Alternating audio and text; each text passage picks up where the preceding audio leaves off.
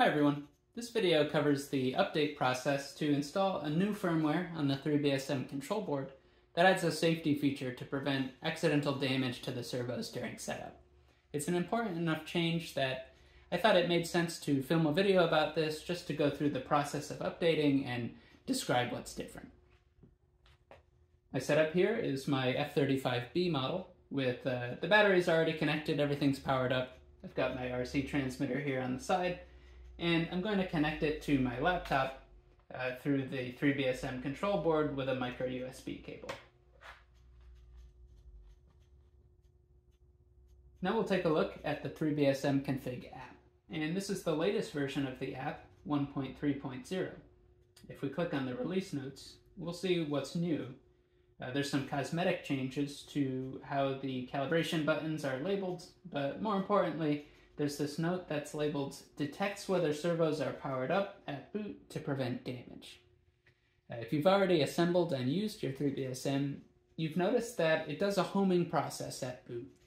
Uh, in order to move all the servos to one endpoint at the straight position and set that as a reference for all of the other angle motions that are commanded for the motion of the duct. What happens is if you power up the 3BSM control board without the servos plugged in or without battery power present, it'll try to perform that homing action, but it can't because the servos don't exist, so it'll eventually time out so that you can still connect to the 3BSM control board and continue the setup.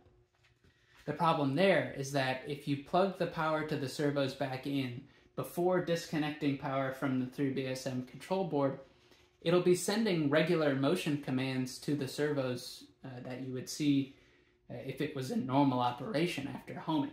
So since those servos haven't been homed, and if they start at a position that's not the straight position, they can run to the other end stop and damage themselves.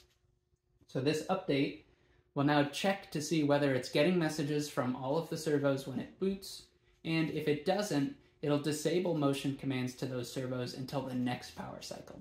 This way, if you've got the 3BSM control board powered up before the servos and you've done configuration, there's no way to accidentally start moving the servos around without them being homed, because that'll be prevented until the next full reboot.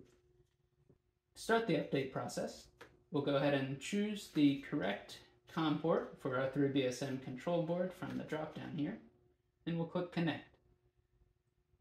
Right away, we'll get a pop-up that our device firmware is out of date and that we should update before continuing. So we'll choose Update. We'll see that the update is flashing, and we'll also see some flashing LEDs on the top of the 3BSM control board. Now the update is complete. The control board is going to power cycle, so we'll see the homing sequence happen again. We'll let that take place before we change anything. And there it is. Uh, the nozzle already started straight, so it didn't have much homing to do. The update did disconnect us from the 3BSM control board, so to reconnect, we'll just click the connect button again. Now the update's been applied and everything works normally. So if we switch flight modes, we'll see that we've got regular motion control of the thrust vector angles.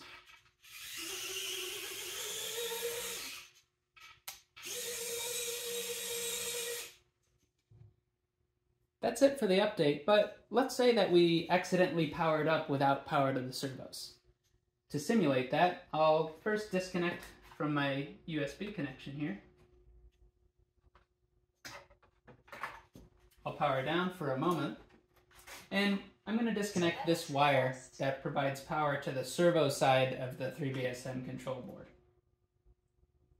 I'll plug my main power back in. Reconnect the USB cable. And back over here, we'll try to connect to the 3BSM control board again. Right away, we get this message that one or more servos was not detected. You can still configure, but motion is disabled until the next power cycle. So now, all of the controls on the 3BSM configuration app still work. You can set your endpoints here, you can do your calibrations, but there's no motion of the 3BSM itself if we try to change flight modes.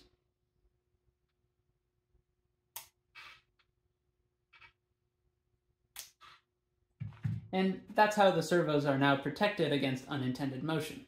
We didn't home them because they weren't powered up, so now we're not allowing them to move for normal operation. The next time I power up with the servo power plugged in, everything will work normally again. That's it for this update. I hope it smooths out the process of setting up and using the 3BSM a little bit overall. If you need support, you can reach me through Lofted Aero as usual, but the best place to do that nowadays is on my new Discord server, which I'll link to in the description below. Otherwise, thanks for watching.